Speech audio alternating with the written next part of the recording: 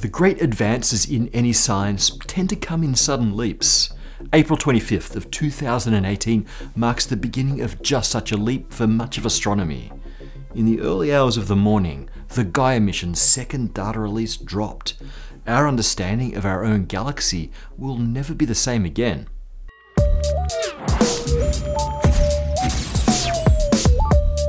The Gaia satellite was launched in late 2013, entirely built and operated by the European Space Agency. Its primary goal is to map the stars of the Milky Way with a scale and precision orders of magnitude greater than ever before. Gaia's predecessor, Hipparcos, catalogued 120,000 stars. Gaia blows this out of the water with positions, colours, and brightnesses of nearly 1.7 billion stars. Gaia can see orders of magnitude fainter and further away than previous missions, but its greatest superpower is its precise astrometry. Gaia can pin down a star's position to the equivalent of a human hair's width at a thousand kilometers. That's one to two thousand times smaller than the resolution of the Hubble Space Telescope. As we'll see, this precision allows Gaia to measure true distances and true velocities for 1.3 billion of its stars.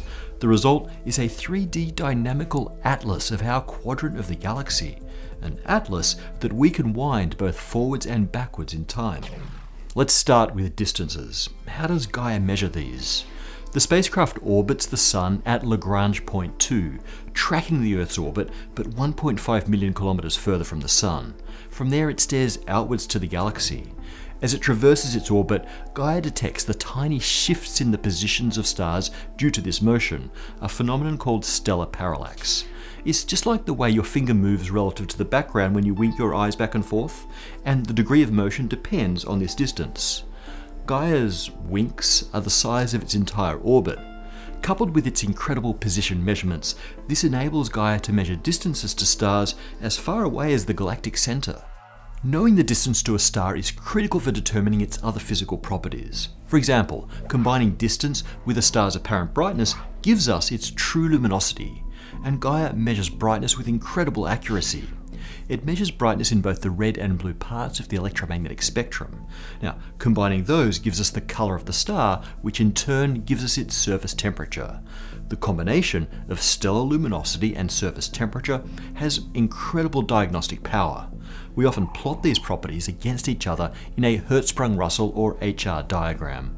Location on this diagram can tell us about a star's mass, size, fusion activity, and even its past and future evolution. For example, stars on this diagonal band, the so-called main sequence, are in the primes of their lives, fusing hydrogen into helium, after which lower mass stars will become red giants, before leaving behind white dwarf remnants. So let's take a look at the Gaia HR diagram. It's pretty incredible. For the first time, we have a complete census of the stellar population far beyond the neighbourhood of the Sun. Compare it to the HR diagram of Hipparcos, and we now see the main sequence extending down to include extremely faint red dwarfs.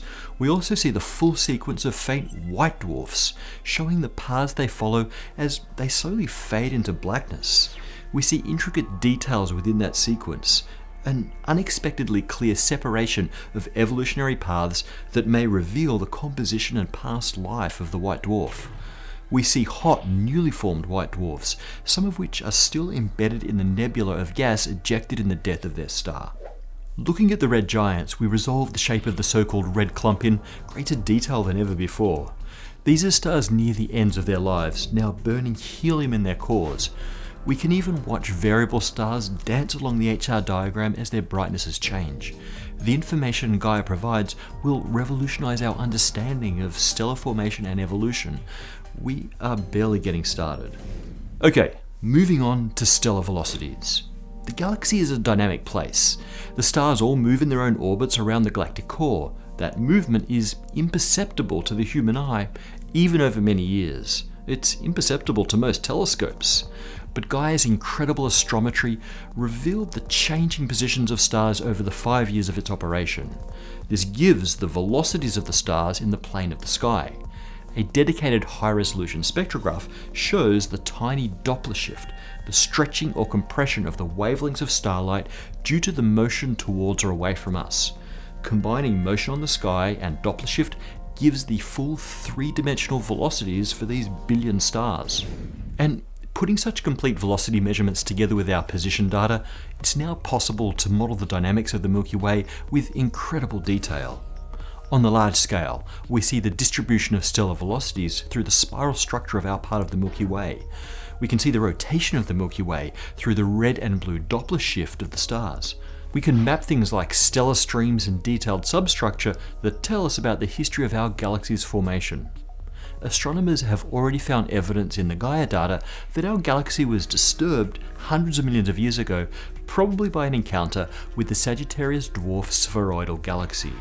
And mapping globular clusters and dwarf galaxy orbits also tells us about future interactions with the Milky Way. Knowing the current velocities and positions of the stars, we can actually wind their clocks backwards and forwards to see where they came from and where they're going. For example, this is the field of stars of the planet hunting Kepler telescope, and this is how they travelled to those locations over the past half million years. And this is where they're going over the next half million we can now study the kinematics of stars that have cumulatively thousands of confirmed planets. We can potentially trace the origins of these stars, allowing us to find solar systems that came from the same stellar nurseries. Also, by constraining the distances to stars, we can get better measurements on the sizes of those stars, and thus also get better measures of the sizes of the planets around them. Based on the new data, we've already been able to confirm a gap in planetary radius size at around 1.9 Earth radius.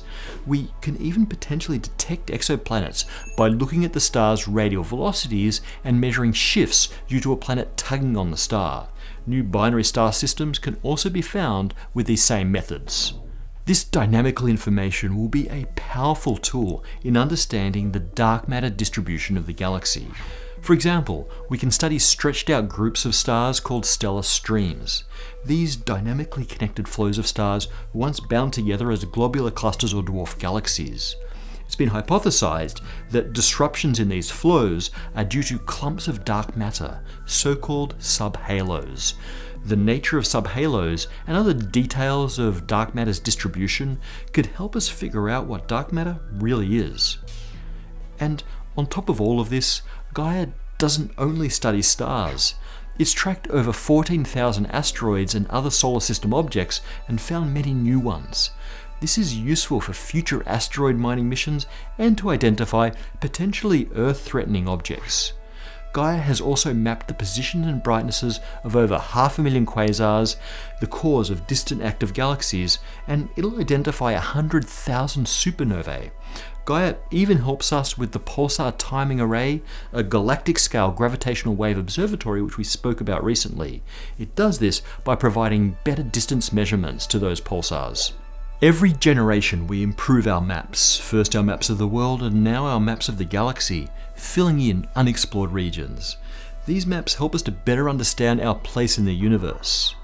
This new map Gaia's 3D atlas of the Milky Way fills in so many of the dark gaps in our old understanding.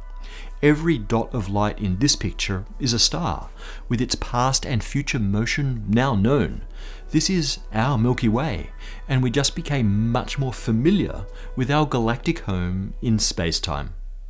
Last week we talked about the last stars that will shine in our universe, the humble red dwarf. Salmon123 asks about the difference between a white dwarf and a red dwarf. Astronomers are not the most imaginative at naming stuff. A white dwarf is the remnant core of a low to mid-mass star after it burns out and ejects its outer layers, leaving only the hot core. White dwarfs aren't necessarily white, they start out blue and are expected to eventually fade through white to red to black, but we always call them white dwarfs. Red dwarfs are just very low mass stars. They start out red but heat up over time, and we expect them to pass through white and some to blue at the ends of their lives. But we always call them red dwarfs until they burn out and then they're white dwarfs. Makes perfect sense, right? Many of you point out that there will be useful sources of energy in the universe long after the last red dwarf fades away. A popular one seems to be rotating black holes or harvesting Hawking radiation from black holes. It's a dismal future. Super advanced civilizations clustered around black holes in an utterly dark universe. Possible? Sure. Worth an episode? hell yeah. But if you can't wait, Isaac Arthur's channel goes as deep into this stuff as you could hope to, and then some. Craig Harrison asks about the accuracy of the statement the star that burns twice as bright burns half as long. Shouldn't it be burns exponentially shorter? Actually, Eldon Tyrell had a decent grasp of hydrostatic equilibrium and the continuity equation. A star that burns twice as bright does burn half as long, actually slightly longer, because that star will have a more massive core. On the other hand, a star that weighs twice as much as the Sun burns about 25 times brighter and burns out 10 times faster. Obviously, this is why the more massive Leon bid it before Pris and Roy.